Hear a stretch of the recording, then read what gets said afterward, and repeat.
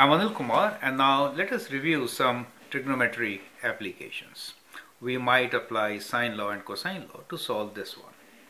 Question is, Peter has just observed a firework go off in the sky at an angle of 28 degrees with the ground. Sam was standing 20 meters from Peter, directly in the line of the firework and closer to where it went off.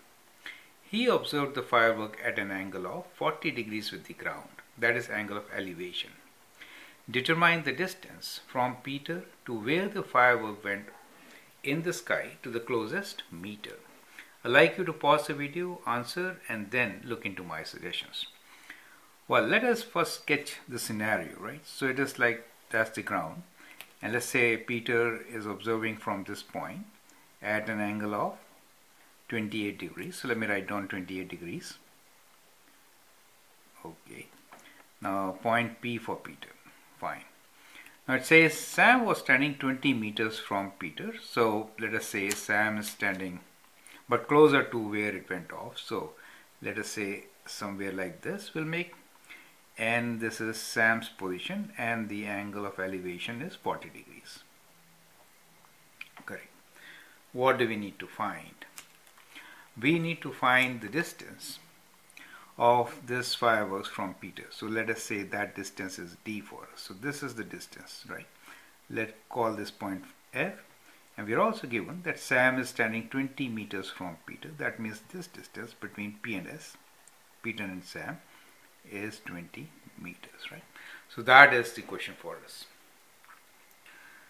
Now from here, what we can do is, we can find the angles within the triangle, right? We know 20 meters distance between P and S. Let us find the angle S.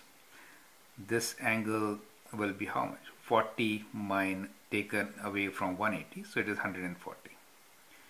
And then we can find the angle F also. You could actually find angle F by knowing that this is exterior angle 40, which is sum of these two angles, right? You could do like that also. So let me say that. So we have 40 is equals to 28 plus angle f. And from here we can find angle f. The other thing which you could use is 28 degrees plus 140 degrees plus angle f is equals to 180 degrees. Sum of all the angles. That is exterior angle theorem right? So 40 take away 28 is 12 so let me write down uh, 12 here. Or either way you can find that angle. So once we know this particular triangle, we know one of the sides which is opposite to the known angle now. And therefore, you can apply the sine law. So let's apply sine law to solve this triangle.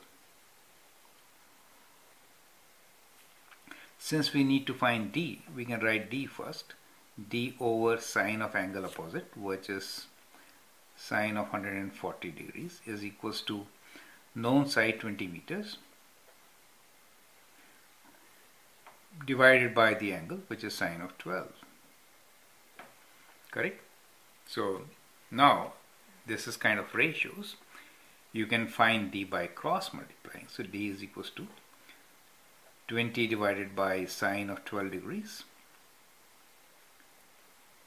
times sine of 140 degrees and the units will be in meters correct? So let's use the calculator find the answer. So we have 20 times sine of 140 equals to divided by sine of 12 equals to 61.83 now says rounding to closest meter. That means we'll round it to 62 meters right? So that is how you can solve this question. I hope that helps. Thank you and all the best